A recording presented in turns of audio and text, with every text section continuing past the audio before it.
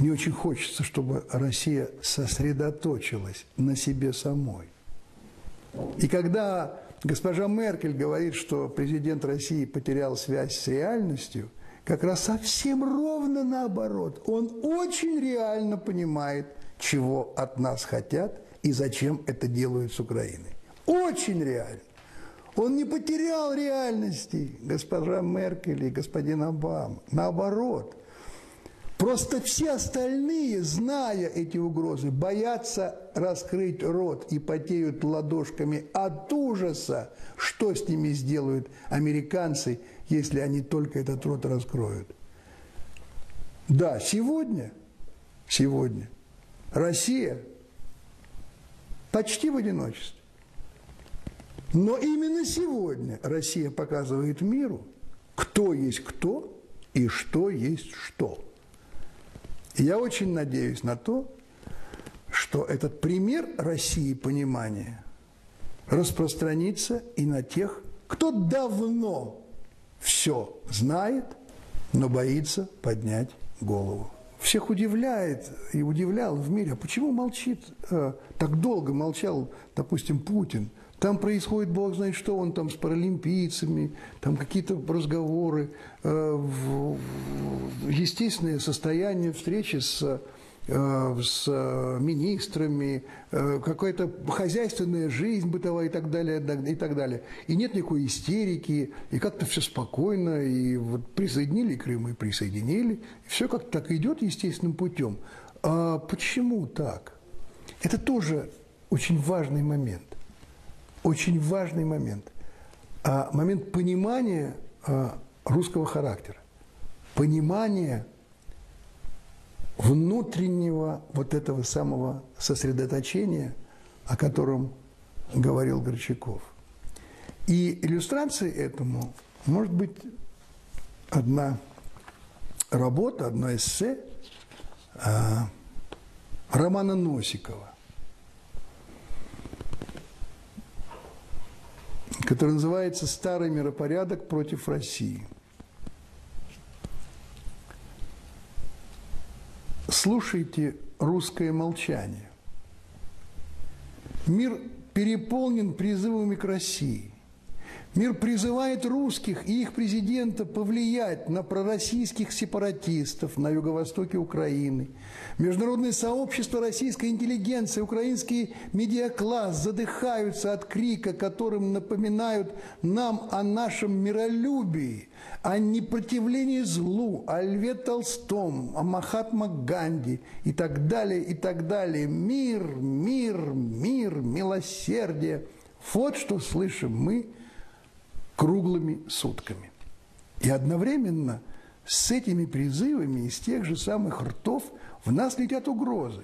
Санкции с голода сдохните, в пещеры вас загоним, в бараки, все отнимем, все отберем, всех купим, заставим, засудим. Что же раздается в ответ? Что слышат наши визави от русского президента, что слышат они от нашего народа? Ничего. Молчание. На мир опустилась тяжелая, невыносимая, как предгрозовая тишина, русское молчание. Россия молчит. И в этом молчании они лихорадочно пытаются вспомнить, что там говорили их великие о России. А Россия, да, Россия – это загадка, упакованная в тайну, спрятанную в непостижимость. Так кажется. И понимают ответ. Просто Россия – это Бог. А если Бог – это Россия, то мне отмщение и аз воздам – это про нее. Она воздаст. Вот-вот прозвучат во Вселенной первые ноты новой русской симфонии. Она сорвет все маски, она проветрит и обновит весь мир, душа за душой. Она не оставит ничего затхлым и старым, она сотворит все новое. Она прогремит, как гроза, она пронесется по миру, как буря – она потрясет незыблемое и развеет в пыль то, что казалось вечным. А пока на мир пришла русская тишина. И последнее, что я хотел бы просто напомнить, может быть, в связи с этой а, работой. Несколько цитат. «Россия – карлик, я поставлю ее на колени. Карл XII, 1707 год. После сражения под Полтавой Швеция навсегда лишилась статуса великой державы. Я покорю отсталую Россию. Фридрих, середина XVIII века. В 1759 году русские войска вошли в Берлин. Россия – колосс на глиняных ногах. Я разрушу ее. Наполеон Бонапарт, 1812 год. В 1814 году русские войска взяли Париж. Мной утвержден план молниеносной войны Барбаросса. Я завоюю СССР к концу года. Адольф Гитлер, 41 год. В 1945 году Гитлер покончил с собой, когда Красная Армия вошла в Берлин. Россия всего лишь региональная держава. Президент США Барак Обама. 26 марта 2014 года. Что в ответ? Россия пока молчит. Всего доброго.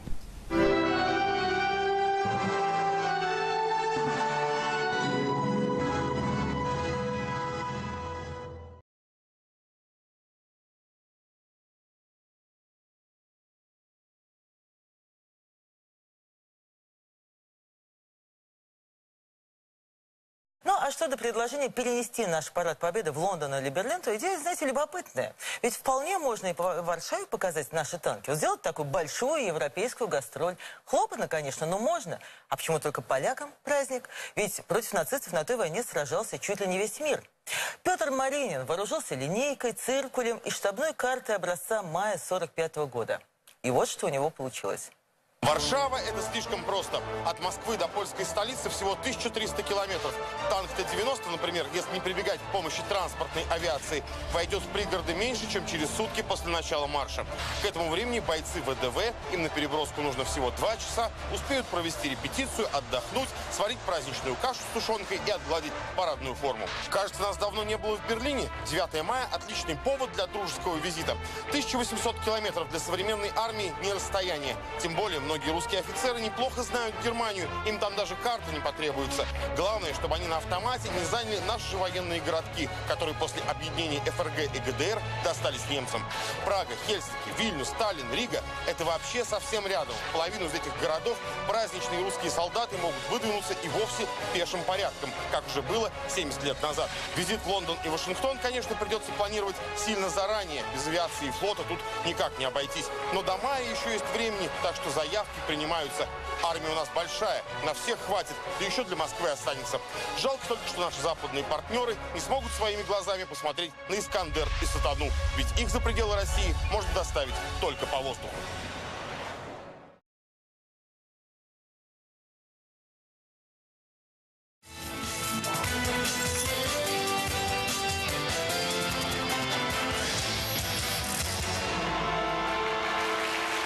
В эфире программа «Специальный корреспондент». Здравствуйте, в студии Евгений Попов.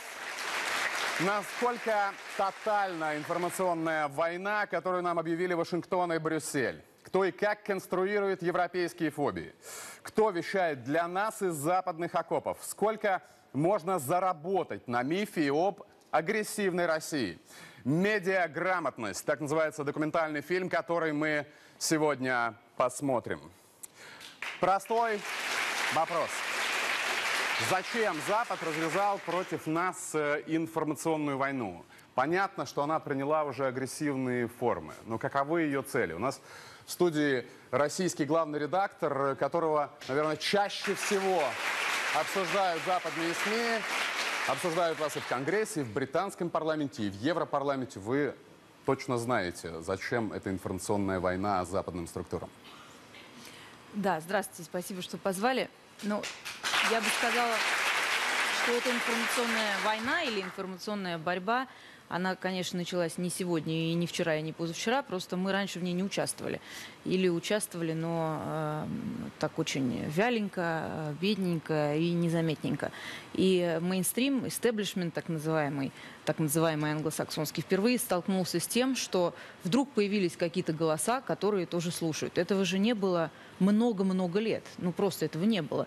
И была определенная монополия на информацию. По большому счету, там несколько медийных конгломератов, которые а, совершенно идентичны в своих оценках того, что происходит в мире, и совершенно идентичны в своей политической и редакционной повестке, они диктовали миру десятилетиями, что миру думать о тех или иных событиях. И мир о тех или иных событиях, о тех или иных людях, э, войнах думал э, то, что он думал. К чему приводило такое единодушие, мы совсем недавно видели на примере Ирака, когда вошли э, в страну, сделали все гораздо хуже, чем было при Саддаме, при колоссальной поддержке ну, практически всех, по большому счету, медиа. Некоторые медиа в этом раскаялись, некоторые журналисты в этом раскаялись публично, но их же очень немного. Ну вот свежий как пример это... уже тоже перед глазами. Украина, Сирия, пожалуйста, те же... Конечно, это, это все продолжается, и э, война-то, то, что мы сейчас называем информационной войной, она началась с того, что э, вдруг э, пришло осознание в тех структурах, в первую очередь, которые вы здесь упоминали,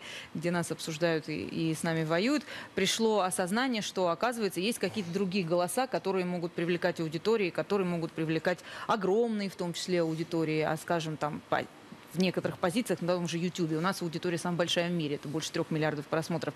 Конечно, с этим надо что-то делать, решили люди, и начали что-то делать. Например, закрыть спутник, как это сделали Слушайте, вчера в Латвии. Да, закрыть спутник, это еще не самое страшное, что сделали с нашим спутником. Э, это действительно Запад, который ведет войну. Почему войну ведут? Войну ведут потому, э, почему ведут войну, э, чтобы обеспечить свое глобальное доминирование. То, что мешает этому глобальному доминированию, должно быть уничтожено, в том числе информационно. Как давно? 500 лет, на самом деле не 300, а 500, это было еще при Василии Третьем. Это не наши стереотипы, а ваши все такие исторические. Который, который отказался Э, принять э, корону короля из рук императора Священной Римской империи германской нации и э, римского папы. После этого уже, собственно, началась литература, причем впереди, кстати, шли действительно поляки, которые создали вот всю ту мифологию, которая существует о России и которую можно прочесть в современной польской газете и в английской газете. То же самое. Кстати, последний, э, э, э, последний представитель последнего Почитайте, посольства, который приходил к Василию Третьему, Сигизмунд Герберштейн, написал записки о Москве. Они выдержали еще в 16 веке 22 издания. Там абсолютно вот все то, что написано там, можно прочесть сегодня в любой западной газете. У России вообще было только два эпизода, когда они писали хорошо. Это было э, приблизительно с февраля, годы. с февраля по май 1917 года и где-то приблизительно с августа по декабрь 1991 Совершенно года. Верно. Потом уже после того, как Союз развалился, уже Россия стала монстром. О нас хорошо пишут только тогда и будут писать только тогда, когда мы разваливаемся. И будут чем яростнее нас атаковать, чем сильнее мы становимся и чем сильнее мы будем. Э, это вот типичный прием информационной войны, которая, э, если даже не брать историю, имеет целью достижения того же самого, что обычная война. Только обычная война хочет с помощью вооруженной силы захватить территорию определенной страны, после чего либо оккупировать ее долго, либо уйти, поставив там свое э, подведомственное себе марионеточное правительство. Информационная война решает ту же самую задачу, только без вторжения с помощью вооруженной силы. Значит, смысл заключается в том, что Бояться смертельно чего? От того, что пробилась Маргарита, пробилась эта РТ, пробивается другая позиция. А почему? Потому что тошнит от того тупика, в который зашел основной Запад. Это тошнит от постмодерна, тошнит от двойных стандартов, тошнит от экспорта революции, тошнит от вот этого отношения к информационной свободе. И наш шанс заключается в том, чтобы наша информационная позиция и наша идеология оформлена до конца, стали лидировать в широких общественных кругах Запада. И это будет, обязательно будет. Только что касается Навального. Только что касается Навального. Существенная часть тех, кто называет себя нашей оппозицией, они же оппозиция не потому, что они не любят Путина. Люди имеют право не любить Путина. Э, э, не от того, что они не любят Единую Россию. Люди имеют право не любить Единую Россию. Они Родину не любят, они нас не любят, они не любят свой Вас, народ, да, они не любят почему? все, что связано с именем России. Мы, конечно, обращаемся к литературе все время, потому что это наше все, да, но э, гораздо прагматичнее и понятнее посмотреть жизнь, для того, чтобы определить основные признаки того, что мы называем информационной войной. Кстати, ведь слово «информационная война» Несмотря на то, что там никто не стреляет, казалось бы, никого не убивает. Это же не страшно. Но нет же ни раненых, ни погибших, нет разрушенных домов. Вроде бы, да, на первый взгляд. Но все равно мы называем это информационная война. И почему? Потому что, в принципе, все операции информационной войны в конце концов ведут к разрушению, страданию и убийствам. И главный прием, который там применяется, это на достаточно короткое время создать ложь, которая будет признана в качестве правды. В этом смысле Оруэлл был прав.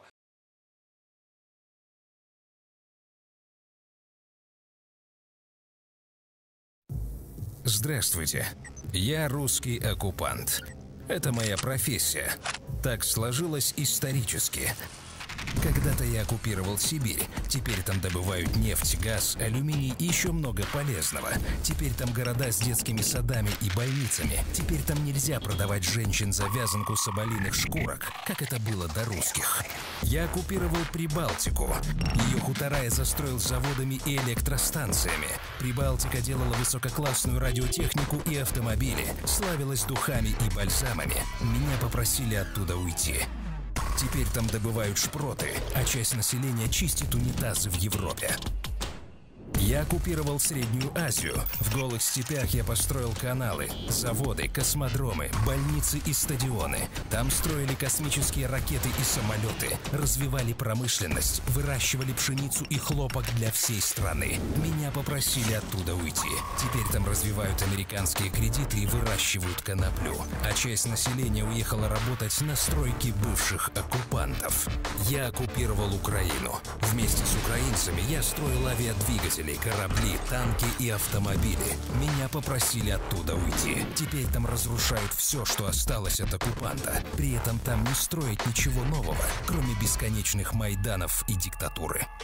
Да, я оккупант, и я устал извиняться за это. Я оккупант по праву рождения. Я агрессор и кровожадный урод. Бойтесь. Это я терпел зверство польских интервентов во времена смуты. Но чем закончилась их интервенция? Это я сжег Москву, чтобы не отдать ее Наполеону. Но как закончил Наполеон? Это я сидел в окопе у Волоколамска, понимая, что нацистов удержать не получится. Где теперь те нацисты? Где их проклятый Гитлер? Ко мне домой приходили все, кому не лень. Турки, англичане, поляки, немцы, французы. Земли хватило на всех. По два с половиной метра на каждого. Поймите, мне не нужна ваша лицемерная свобода. Мне не нужна ваша гнилая демократия. Мне чуждо все, что вы называете западными ценностями. У меня другие интересы. Вежливо предупреждаю в последний раз. Не нарывайтесь. Я строю мир. Я люблю мир. Но воевать я умею лучше всех. С уважением, русский оккупант.